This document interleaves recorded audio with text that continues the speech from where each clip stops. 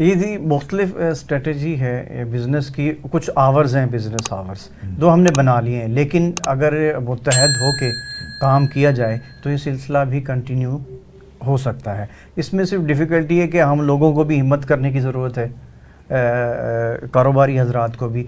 एक हमें, हमने माइंड सेट बनाना पड़ेगा।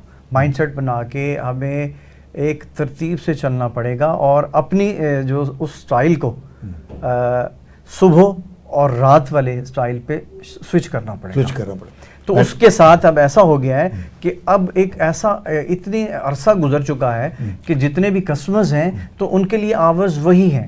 तो उनको भी एक दूसरे की ब्रीफिंग के लिए टाइम लग जाएगा। यानी एकदम स्विच नहीं है। एकदम स्विच नहीं है हाँ, हल्के हल्के हल्के हल्के जो है ना इसको स्टार्ट लिया जा सकता है।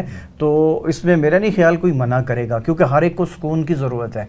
बिजनेसमैन हम्म। भी एक इंसान है हम्म। कारोबारी दुकानदार भी एक इंसान है। वो चाहेगा कि आठ बजे जल्दी अपने बच्चों के साथ जाए ठीक है और खाना खाए उनसे इंटरटेन हो और जाके फ्रेश होकर सुबह नमाज़ फजर पढ़ के अपने कारोबार के लिए या अपने मामला को हैंडल करे उससे ज़्यादा बेहतर और चीज़ हो ही नहीं सकती।